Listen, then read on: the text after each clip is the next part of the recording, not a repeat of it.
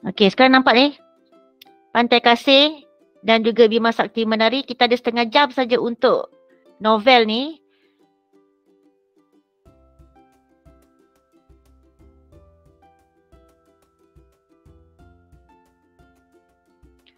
Okey, saya besarkan slide.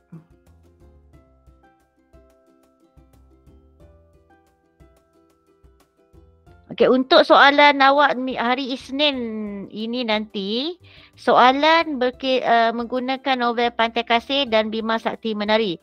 Saya tak pastilah sama ada ada soalan perbandingan ataupun tidak. Ya. Uh, saya tak pasti, tapi malam ni saya akan cuba ingatkan semula cara bagaimana nak jawab soalan 81 dan 82. Ya. Yang paling penting ialah 82. Sebab 82 ini uh, 6 markah, ya. Jadi awak kena tahu cara bagaimana nak menjawab soalan untuk 8 ni tak payah, ni tak payah kita skip. Okey. Okey, uh, nampak tak slide saya tukar ni? Ataupun tak tukar? Tak tukar, tak tukar. Tak tukar eh?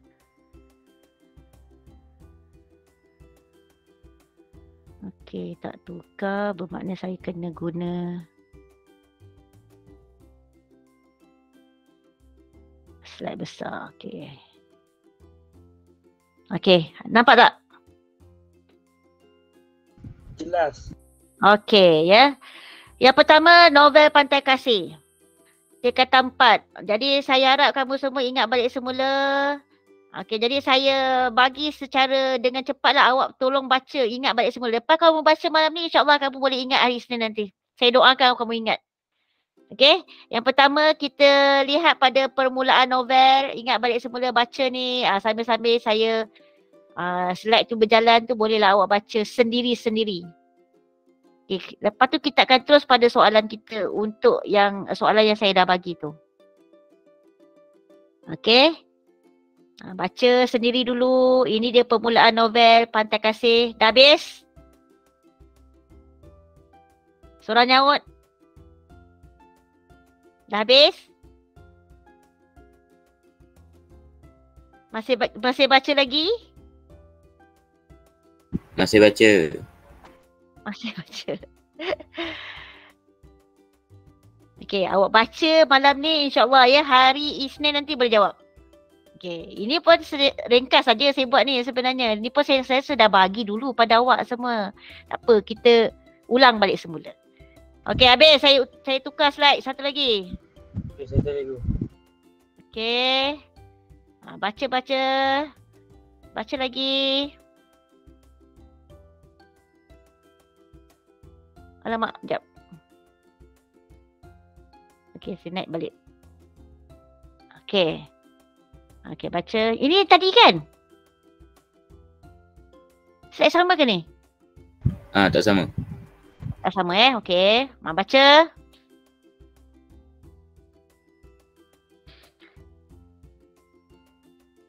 Arif tak masuk yang malam ni, Ilham. Saya tak tengok slide ni. Ah, jap.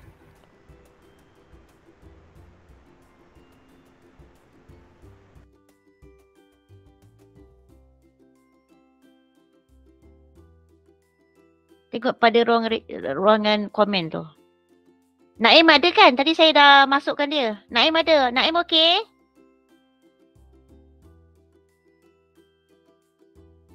Arif tak ada cikgu. Arif tak ada eh?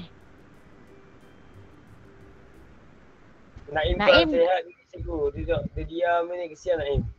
Dia ke? Oh, hari Isnin ni boleh ke tidak tu datang lo? Okey, dah habis baca. Slide yang kedua. Okey, untuk slide kedua ni, Dr. Raiha uh, teringat tentang diri dia, tentang ayah dia ya. Uh, tentang ayah dia. Kenapa ayah dia tak menggalakkan dia menjadi seorang doktor.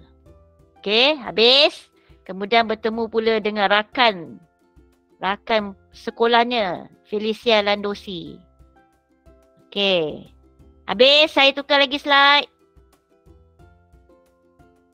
Okey, kita masuk pula pertengahan novel. Okey, pertengahan novel apa yang berlaku dalam Pantai Kasih? Okey, cerita pula tentang Dr. Sadis. Ya. Okey, Dr. Raiha mengandungkan anak mereka yang cacat semasa dalam kandungan Dr. Sadis suruh Dr. Raiha menggugurkan kandungannya. Okey. Kemudian dalam pertengahan novel juga cerita pasal doktor palsu. Ha, ingat. Kena tahu tu. Okey. Seterusnya cerita pula tentang Ibu Unong Sirun. Ya. Yang mempersoalkan tentang kewibawaan Dr. Wang ya yang bertanggungjawab mengendalikan kes anaknya Unong Sirun. Ya. Ha, di sini ada menggambarkan bagaimana pusat rawatan pantai kasih ini lebih berfokuskan kepada keuntungan. Okey. Ha, mereka juga ada masalah bagaimana kehadiran doktor palsu. Okey, ingat tu ya, ini semua peristiwa-peristiwa yang boleh menjadi jawapan awak. Okey, seterusnya selesai. Okey, kita lihat lagi.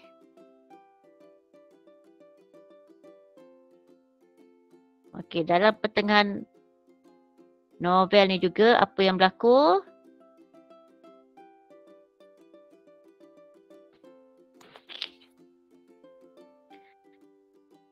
Doktor Uwang ni juga ya bagaimana teringat uh, bagaimana anak pak ciknya. Siapa pak ciknya? Doktor Sadis. Ingat ya, Doktor Uwang dan Doktor Sadis ini ada ikatan kekeluargaan. Doktor Sadis ni lebih tua daripada Doktor Uwang. Uh, sebab tu ayah Doktor Raiha tidak suka dengan menantu dia ni sebab sama usia dengan bapa Doktor Raiha. Okay, sebab itulah ya. Mungkin sebab dah kahwin dengan orang yang lebih berusia, berumur menyebabkan kandungan mereka pun tidak berapa sihat. Ya, ah, itu juga antara punca-punca kepada hmm, kandungan anak, kandungan Dr. Raiha. Okay, sebab Dr. Sadis ni dah tua sebenarnya. Okey, dalam peristiwa untuk ini pula, slide ini menggambarkan bagaimana Dr. Sadis ni marah dengan Dr. Raiha. Ya, berhenti di satu kawasan rumah tumpangan, marahkan Dr. Raiha, maka Dr. Sadis beli minyak petrol, kemudian bakar kereta mewah dia. Okey, kebetulan ketika itu anak Dr. Raiha iaitu Rohayu ni berada berdekatan. Keluar dari rumah tumpangan tu berada berdekatan dengan kereta Porsche tersebut. Lalu mati. Okey? Okey habis baca.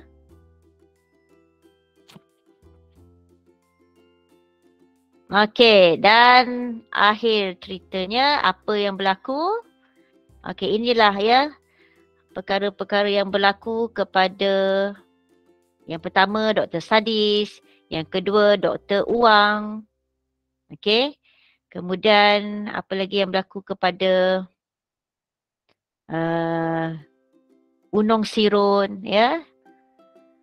Nah, ini semua antara penutup kepada novel Pantai Kasih. Okey. 10-5 minit. Okay, habis untuk 5 minit. 5 minit saja baca untuk novel Pantai Kasih. Okay, itu yang pertama novel Pantai Kasih. Kita lihat pula novel Bima Sakti Menari pula. Okay. Tapi sebelum kita novel Bima Sakti Menari itu dia antara beberapa penu, uh, peleraian novel ni ya. Yang pertama Dr. Sadis uh, mati, meninggal dunia. Sebab apa? Uh, merempuh lori. Okey, inilah kata kifara ya. Yang berlaku kepada Doktor Sadis. Yang kedua, Doktor Uang. Uh, apa yang berlaku, apa yang dilakukan kepada dok, uh, Unong Sirun, berlakulah kepada diri dia sendiri. Ya, ah jadi doktor untuk menyelamatkan Dr. Uwang, Dr. Raiha terpaksa menggunakan alat ganti tulang yang sama seperti Unong Sirun dahulu untuk menyelamatkan nyawa dia. Ha, sebab mengalami kecederaan yang teruk pada bahagian pergelangan tangan dan lutut. Okey, jadi dia guna balik semula ya uh, gantian gantian yang digunakan untuk Unong Sirun. Okey, itu dia. Um, kemudian Unong Sirun ni akhirnya dah pulih seperti biasa ya. Uh, sebab Dr. Raiha merawatnya dengan menggunakan alat gantian yang terbaik. Okey, habis. Okey, kita lihat pula kepada novel. Okey. Ada satu lagi ya, peleraian novel right. Doktor, apa berlaku lagi?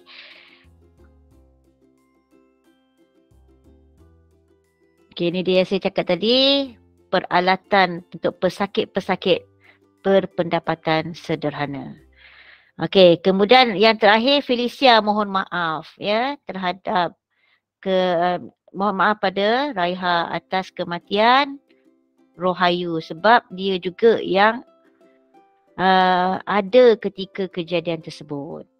Okey, itu dia dan akhirnya Dr. Raiha memaafkan Felicia Landosi. Okey, habis. Okey, seterusnya kita lihat pula kepada uh, novel Bima Sakti Menari. Okey. Apa yang berlaku pula dalam Bima Sakti Menari? Okey, permulaan novel. Okey, baca-baca. Ulang semula.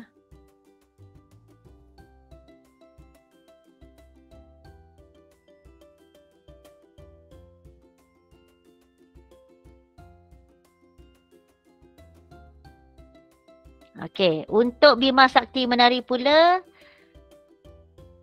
watak utamanya ialah Nurul Hafsa. Okey? Ha, jangan tulis pula Doktor Nurul Hafsa, tak ada doktor ya, Nurul Hafsa sahaja. Ada tu yang buat silap, ya.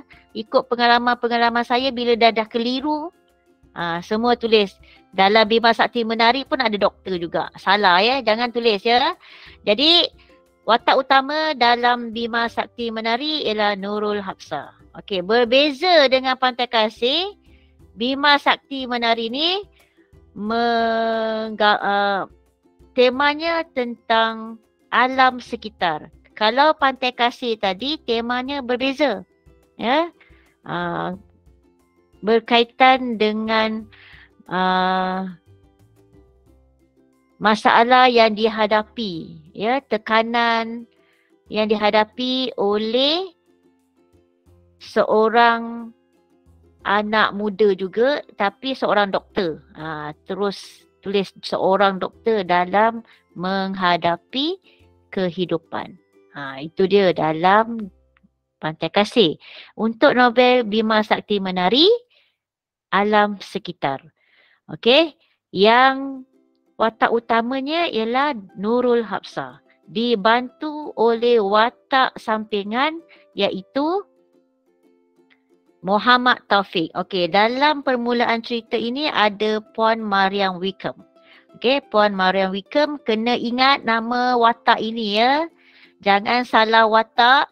Okey, Puan Mariam Wickham ni merupakan ketua rombongan bawa pelajar-pelajar cilik ataupun kalau pelajar-pelajar sendiri datang ke uh, balai cerak mestilah mereka ini pelajar-pelajar yang minat dengan perkara-perkara tentang mencerap bintang. Okey, jadi mereka pergilah ke balai cerap Sultan Salahuddin. Uh, tapi masalahnya mereka tak dapat melihat bintang kerana berlangit terlalu terang berlakunya pencemaran cahaya di kawasan ke Kuala Selangor. Okey.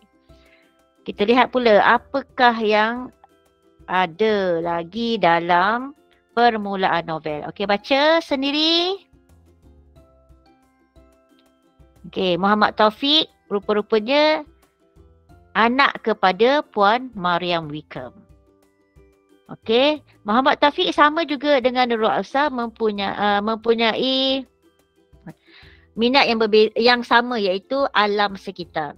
Dan pencinta alam sekitar ataupun mereka ini merupakan aktivis yang menjaga alam sekitar. Muhammad Taufik pula uh, dia merupakan watak sampingan yang banyak menggambarkan seorang pecinta alam terutama sekali tentang rumah mesra alam prototipe ikhtiar tekno alam. Ha, ini kena ingat ni. Ya. Ha, nak menggambarkan Muhammad Taufik ni seorang cinta akan alam sekitar. Okey.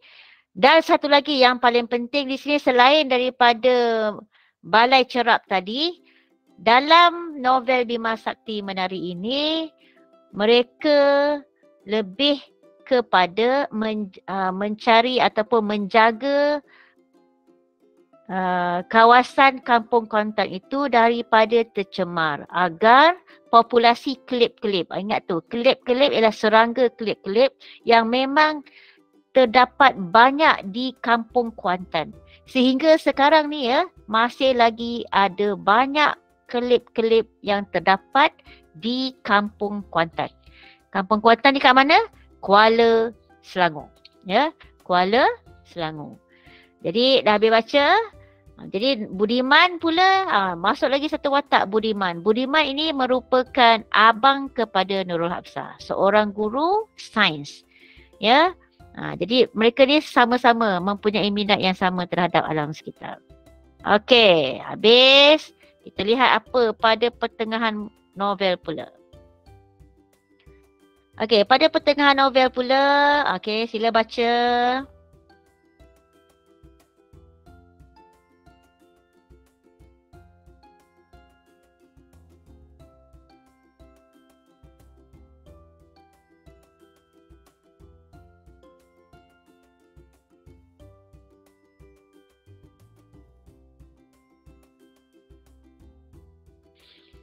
Okey, dalam pertengahan novel ni ya, uh, bagaimana Muhammad Taufik berkenalan dengan Nurul Hafsah sehinggalah mereka berjumpa untuk berbincang tentang projek kawasan simpan langit gelap. Okey, uh, kawasan simpan langit gelap ini uh, merupakan projek mereka untuk menjaga populasi kelip-kelip yang terdapat di kampung Kuantan. Okey, sehingga kan satu kawasan tu memang Muhammad Taufik membeli ya kawasan tersebut, pagarkan kawasan tersebut supaya uh, kelip-kelip itu dapat dipelihara. Ha, ya. Jadi itulah peranan mereka apabila Muhammad Taufik berkenalan dengan Nurul Absar kemudian pula dibantu oleh Budima yang merupakan rakan kepada Muhammad Taufik juga. Mereka pun sehati untuk mengadakan satu projek kawasan simpan langit gelap. Okey, tetapi projek mereka ini mendapat tentangan daripada okey ini dia. Datuk Johan Arlington Majid. Okey, kita lihat apa yang berlaku lagi dalam pertengahan novel ni. Okey.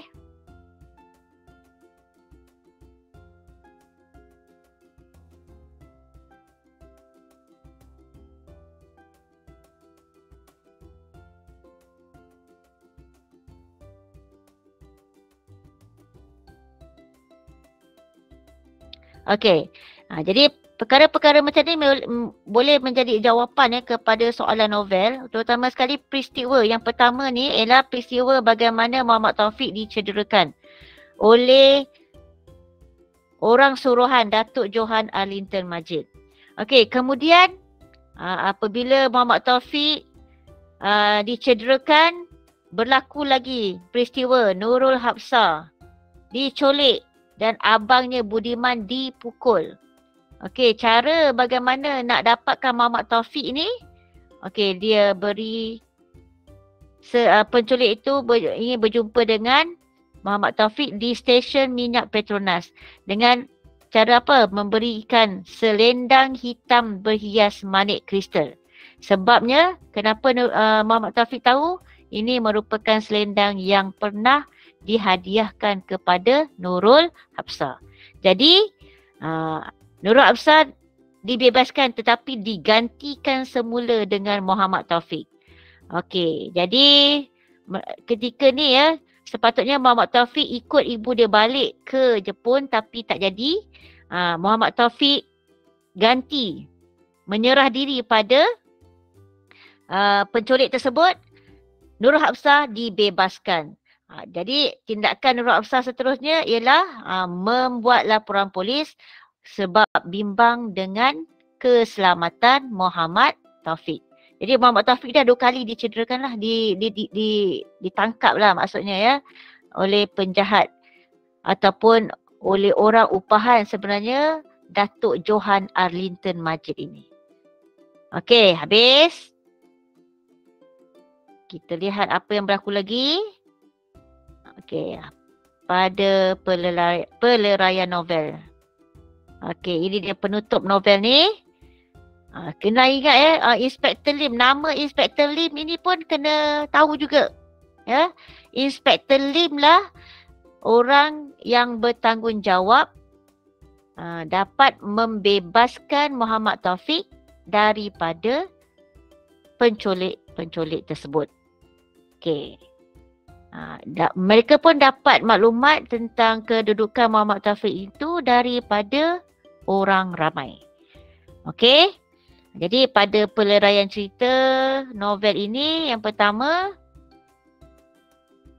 ibu Muhammad Taufik iaitu uh, Mariam Wickham dan juga bapa Muhammad Taufik Tan Sri Mohaimin bernikah semula. Okey. Yang kedua, Muhammad Taufik menghantar rombongan untuk melamar Nurul Hafsah. Itu sahaja untuk penutup novel Bima Sakti Menari. Okey. Ha, jadi untuk soalan novel, untuk soalan bahagian satu, okey saya dah bagi pada awak soalan ini iaitu soalan yang diambil dari negeri Kedah. Jadi untuk uh, sinopsis Pantai Kasih dan Bima Sakti Menari tadi saya harap kamu dah boleh hadam, dah boleh jawab nanti soalan ini pada hari Isnin nanti. Saya tak nak awak tinggalkan soalan novel ini. Mesti dapat 10 per 10 markah. Kalau tadi uh, untuk rumusan awak mesti dapat 26 ke atas. Untuk novel pastikan jangan dapat kurang daripada lima markah. Ha, dan pastikan awak dapat sekurang-kurangnya sembilan per sepuluh markah. Okey. Jadi untuk soalan novel, soalan nombor lapan, bahagian satu. Okey, soalan bahagian satu ini diambil dari mana-mana lapan novel yang dikaji di seluruh Malaysia. Jadi pada malam ini saya ambil soalan percubaan negeri Kedah tahun lepas 2021 diambil daripada novel Jendela Menghadap Jalan. Okey. Jadi saya harap kamu semua dah baca lah sebab saya dah bagi bahan ni awal kan. Jadi kamu dah tahu dah tahu apakah sebenarnya yang uh, ingin diberi sebagai jawapan. Okey, soalannya, bagaimanakah aku tahu bahawa nenek dalam keadaan kusar? Okey, untuk soalan 81 ni, pastikan jangan dapat kosong dan pastikan saya nak dapat 4 per 4. Kalau 4 markah dalam uh, penandaan tata cara pemarkahan, 4 markah ni mesti ada 3 jawapan yang tepat. Ya, 3 jawapan yang tepat uh, dan perlu ditulis dengan ayat yang lengkap. Jadi apakah jawapannya? Kita kena lihat kata kunci. Kata kunci yang pertama ialah lihat pada perkataan aku, kata ganti diri aku. Yang kedua ialah lihat pada nenek dan yang ketiganya ialah lihat pada keadaan gusar. Apa yang berlaku pada nenek dalam keadaan gusar. Gusar ni maksudnya bergelora lah. Okey, jadi jawapannya awak boleh nampak dalam petikan ini.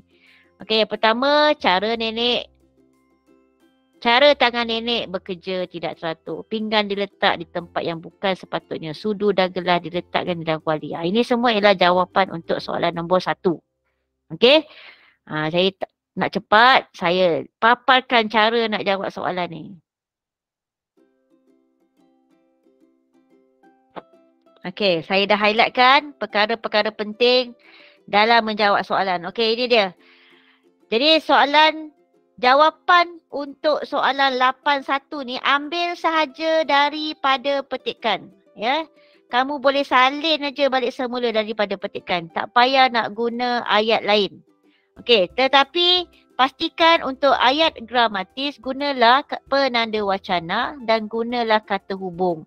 Okey, kalau soalan ni bagaimana, kinalah guna perkataan. Ha, contoh macam ni lah, apabila ataupun kerana. Ha, ini semua boleh. Kalau soalan mengapa, kerana. Ya, kalau soalan bagaimana, kita gunalah kata hubung apabila. Okey, kemudian tulis saja isi pertama, nokta.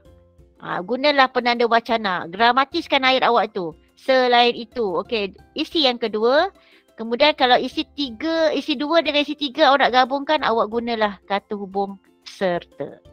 Okey? Itu dia untuk soalan 81. Yang paling penting sekarang ialah soalan 82. Okey, soalan 82 untuk soalan negeri Kedah ni. Okey, ini dia soalan dia. Okey, siapa boleh baca soalan yang bahagian bawah ni? Okey, sebelum kita sekarang dah pukul 8 10, 20. Okay, cepat kita boleh lihat apakah, bagaimana cara nak menjawab soalan ni. Bacakan Saya baca, soalannya. Saya baca, saya baca. Okey, baca. Baca Ya, Kim. Jen, pelbagai berdasarkan novel eh? Ah ni ni, bawah ni, pelbagai Okey, pelbagai kata kisah, kunci dia. pelbagai kisah dan peristiwa yang digarap oleh pengarang dalam sesebuah novel dapat menimbulkan kesan di hati pembaca. Berdasarkan novel yang anda kaji, jelaskan dua peristiwa dan sebab-sebab peristiwa tersebut menyentuh perasaan anda. Okey, Hakim, saya tanya awak, ada berapa bahagian soalan ni, Kim?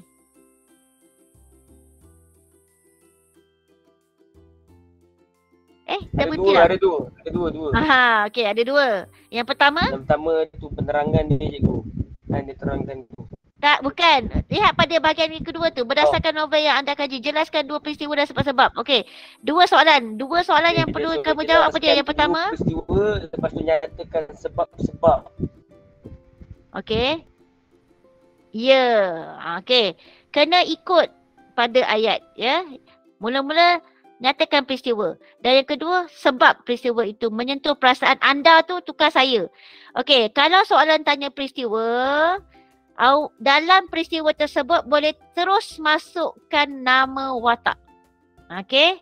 Ah, contohnya peristiwa yang terdapat dalam novel Pantai Kasih ialah peristiwa Dr. Raiha uh, dipaksa oleh Dr. Sadis menggugurkan kandungannya yang cacat itu. Ha, contoh macam tu. Terus masuk watak. Ha, kalau soalan tanya peristiwa. Ya. Ha, tapi kalau soalan tak tanya peristiwa, bagi jawapan umum dahulu. Ya. Okey. Kemudian lepas dah beritahu peristiwa tersebut, terus bagi jawapan. Sebab peristiwa tersebut menyentuh perasaan saya ialah Ha, baru awak akan dapat dua markah. Okey? Ha, jadi saya tak nak buang masa. Kita lihat jawapannya terus. Okey. Soalan yang pertama, jawapan untuk Pantai Kasih dahulu ya. Saya bagi dua-dua jawapan. Pantai Kasih dan Bima Sakti Menari. Jadi tolong hadam lepas ini peristiwa uh, jawapan ini. Okey, saya dah highlight kat situ. Mesti ada peristiwa, mesti ada sebab. Okey, kalau tak ada tulis kedua-dua bahagian ini, jawapan awak itu tidak lengkap. Okey, permulaan jawapan awak terus ikut pada ayat soalan. Berdasarkan novel yang saya kaji, ikut balik ayat dalam soalan. Okey, nyatakan novel tersebut. Okey, siapa nama semua ni ada dalam soalan. Jangan risau. Tulis balik semula. Okey, terus bagi jawapan. Peristiwa. Peristiwa Unong Sirun menjalani pembedahan berulang sebanyak enam kali. Okey, jangan salah. tulis, ada yang tulis empat, ada yang tulis tiga. Okey. Sebenarnya enam kali. Tetapi kena ingat ya, kali ke enam itu bersama Dr. Raiha. Kali uh, yang pertama hingga kelima bersama Dr. Uang. Kali yang keenam, yang terakhir itu bersama Dr. Raiha. Okey, jadi awak tulislah enam kali. Kenapa peristiwa itu menyentuh perasaan awak? Okey, jadi kalau di sini awak ada tulis perkataan perasaan. Kalau awak nak khususkan pun boleh. Tak ada masalah. Awak terus kata menyentuh perasaan simpati saya pun boleh. Tak ada perkataan simpati pun tak apa. Tulis saja menyentuh perasaan saya apabila Gunung Siro terpaksa menjalani pembedahan secara berulang. Okey, itu dia. Jadi ada jawapan yang pertama, ada jawapan yang kedua. Jadi dua markah. Baru dapat dua markah. Okey, gunalah perkataan penanda wacana untuk isi yang kedua. Selain itu, terus masuk peristiwa. Peristiwa Dr. Raiha didesak oleh suaminya Dr. Sadis supaya menggugurkan kandungannya yang tidak normal. Okey, ini peristiwa yang kedua. Okey, kenapa peristiwa itu menyentuh perasaan awak? Okey, sebut menyentuh perasaan saya kerana Dr. Raiha dizalimi oleh suaminya yang tidak bertanggungjawab. Okey, kalau kamu tulis sampai sini, jawapan tu tepat dan kena pada dua-dua bahagian, dah dapat dah empat markah. Okey, tapi kalau kamu tak yakin, saya galakkan kamu tulis ekstra satu. Walaupun di atas ni tulis dua peristiwa, betul tak? Tapi saya galakkan kamu tulis satu lagi. Tapi kenapa tapi pastikan isi yang pertama dengan kedua ni betul-betul yakin. Kamu betul-betul yakin itu betul. Ha, yang ketiga ni hanya sebagai backup saja. Ha, sebagai uh, salah satu cara untuk awak elak kehilangan markah. Okey? Ha, jadi isi yang ketiga sebagai ekstra sahaja. Iaitu apa? Peristiwa anak Dr. Raiha iaitu Rohayu terkorban akibat disambar api yang membakar kereta mewah Dr. Sadis. Kalau tak ingat nama kereta Porsche tu pun tak apa. Tulis saja kereta mewah. Dan jangan tulis salah watak pula. Jangan tulis Dr. Uang pula. Dr. Sadis ya. Di tepi rumah tumpangan. Jangan kata rumah rumah apa dia, rumah kondo dia ke tak ada, rumah tumpangan sebab ramai calon yang salah situasi ini. Okey, ha, sebab apa peristiwa ini menyentuh perasaan saya? Ha, sebab Rohayu ini sebenarnya menjadi mangsa kemarahan dan kekejaman bapa kandungnya sendiri. Ha, ini jawapan ni mudah saja. Jangan tulis panjang-panjang. Tak payah cerita panjang-panjang. Ya, tulis ringkas dan padat saja. Macam ni awak dah dapat empat markah isi. Okey, dua lagi ialah markah bahasa. Untuk soalan bahagian kedua novel, ada dua markah bahasa. Sebab itu awak perlu tulis dengan ayat yang lengkap. Jangan tulis tanda guna peka, uh, tanda dash ke tanda sengkang ke ataupun guna bintang ke bulan ke apa tak payah ya. Perlu tulis dengan ayat yang lengkap macam ni. Barulah awak dapat 6 per 6. Jadi kalau tadi 4 markah dah betul, sekarang 6 markah dah dapat 10 markah lengkap. Okey, itu dia untuk soalan pantai kasih. Soalan yang untuk Bima Sakti menari pula. Okey, untuk soalan Bima Sakti menari ni pula uh, agak panjang sikit ya. Untuk Bima Sakti menari, sebab peristiwanya agak uh, perlu panjang sikit untuk uh, apa tu? Untuk ditulis. Uh, tapi tak ada masalah. Saya rasa kalau kamu dapat tulis ya dengan seringkasnya. Tapi pastikan lengkap. Okey untuk soalan uh, Bima Sakti Menari peristiwa yang pertama ialah peristiwa Ha, di mana hari pertama Nurul Hamzah bertugas sebagai pegawai sains di Balai Cerap Sultan Salahuddin. Uh, masa ni uh, pengunjung cilik itu dari Jepun tak dapat melihat bintang. Sebab apa? Sebab langit terlalu cerah akibat pencemaran cahaya. Okey, peristiwa ini menyentuh perasaan kenapa? Menyentuh perasaan saya kerana apa? Kerana pada hari pertama bertugas Nurul Absar sudah diuji dengan apa? Ha, dengan di, diuji dengan masalah ni lah. Ya, apabila dia tidak dapat memenuhi impian pengunjung yang ingin melihat bintang. Okey, jelaskan dengan tepat. Ayat tersebut disusun dengan mudah dan memenuhi jawapan.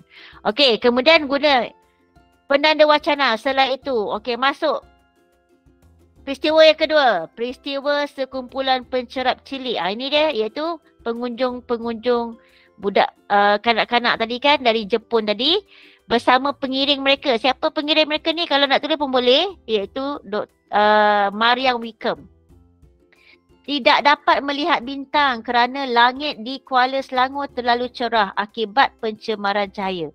Ha, padahal kedua-dua situasi ni, peristiwa ni dalam perenggan yang sama, muka surat yang sama dalam buku. Tapi boleh dijadikan sebagai dua jawapan yang berbeza. Okey, perasa, uh, peristiwa ini menyentuh perasaan sebab apa?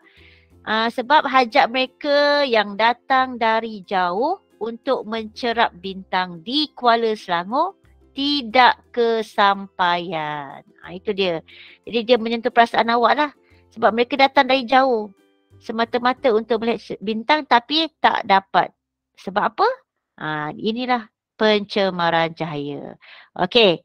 Dan akhir sekali ekstra satu isi untuk Bima Sakti Menari ni ialah apa dia? Peristiwa Muhammad Taufik dipukul oleh orang suruhan Datuk Johan Arlington Majid atas sebab dendam peribadi dan perniagaan.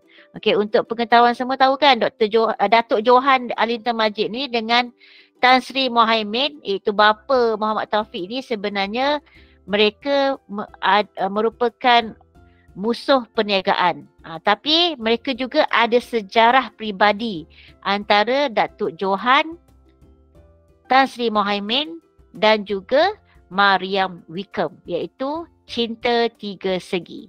Okey, ini yang dikatakan dendam peribadi. Ya, apabila uh, Maria Wickham iaitu ibu Muhammad Taufik ini memilih Tan Sri Mohaimin. Okey, jadi kenapa peristiwa ini menyentuh perasaan? Uh, sebab apa? Kerana Muhammad Taufik menjadi mangsa persengketaan antara Tan Sri Mohaimin dengan Datuk Johan Arlington Majid. Okey. Ha, jadi untuk watak-watak dalam Bima Sakti Menari ni awak kena ingat panjang sikit lah. Okey. Jadi itu dia. Cara bagaimana nak jawab soalan novel bahagian 2. Okey. Iaitu 8-2. Okey. Itu saja. Ada apa-apa nak tanya? Okey. Saya sebenarnya ada soalan saya sebenarnya untuk bahagian novel ni tapi kita dah habis masa dah sepuluh setengah sekarang ni tepat sepuluh setengah saya rasa cukup lah untuk malam ini. Okey kalau tak ada apa-apa tanya, ada apa-apa nak tanya ke tak? Ada apa-apa nak tanya? Ada cikgu. Ha, ya tanya saya apa? Ada. Siap, ada tanya? Tak ada. Okey faham tak malam ni?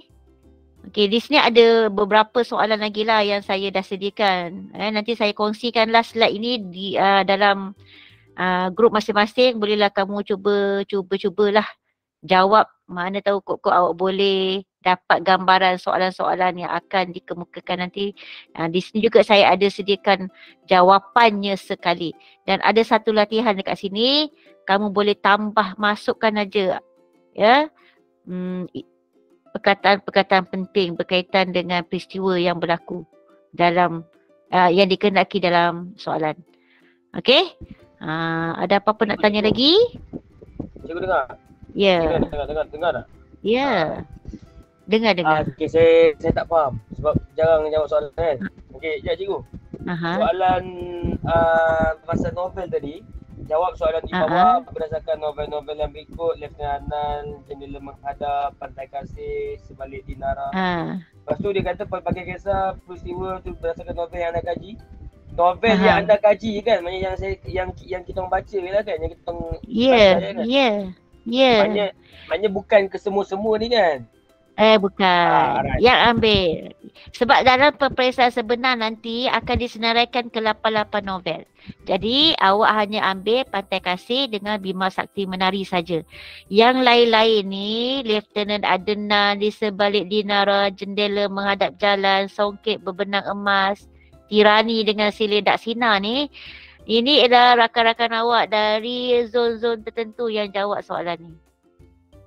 Tetapi ah soalan 81 ah yang memang jawapan tu ada dalam petikan contoh yang macam ni memang ada dalam petikan diambil dari mana-mana 8 novel tersebut. Kalau sekiranya soalan ni keluar jendela menghadap jalan ni kalau walaupun kita tak belajar tapi kita boleh jawab juga sebab jawapannya memang ada dalam petikan. Jadi rezekilah pada pelajar yang mengkaji novel jendela menghadap jalan. Kalau sekiranya esok ataupun dalam peperiksaan sebenar nanti soalan bahagian satu ni keluar tentang Bima Sakti Menari, maknanya rezeki kita lah. Rezeki untuk calon-calon zon uh, Melaka, Terengganu dan juga Kelantan. Ha, ya, ini tiga zon yang menjawab soalan Bima Sakti Menari dengan Pantai Kasih. Ha, tiga negeri ni memang guna novel ini. Jadi rezeki kita lah dapat jawab, rezeki awak lah dapat jawab soalan ni. Ha, jadi kalau macam ni, soalan macam ni, jendela menghadap jalan, zon dekat negeri Kedah, Perak, mungkin juga di uh, Sarawak, uh, mereka guna novel jendela menghadap jalan. Jadi rezeki mereka lah dapat dapat jawab. Tapi kita juga boleh jawab. Awak pun boleh jawab sebab jawapan dia memang ada dalam petikan. Ha, ya, tak ada masalah. Hanya fahamkan betul-betul. Cari kata kunci dia. Kat mana jawapan tu ada. Macam saya dah highlight kat sini kan. Cari kata kunci ni. Ada nenek, ada gusar. Takkan tak boleh nampak dalam petikan ni ada berkaitan dengan uh, gusar. Uh, contoh macam ni. Sedang bergelora oleh sesuatu. Ha, ini menampakkan yang nenek ni seorang yang sedang dalam keadaan gusar. Ataupun ada juga perkataan ni, ah, menambahkan kegusarannya. Ah, jadi dah memang nampak kat sini, atas tu ialah jawapan. Ah, jadi kena pasti betul-betul. Okey, ada soalan lain? Faham ya Hakim ya? Faham. Terima kasih cikgu. Okey, jadi nanti jangan lupa pula jawab soalan ni. Uh, untuk soalan novel, untuk soalan bahasa Melayu ni, novel ni lah yang banyak membantu ya kamu semua untuk dapat markah yang baik dan seterusnya menambahkan grade awak. Okey, ada apa lagi soalan? Ada soalan lain? Tak ada. Kalau tak ada soalan, kita boleh, saya boleh stop sharing lah. Okay. Jadi saya rasa itu saja untuk malam ini. Sekian saja. Terima kasih.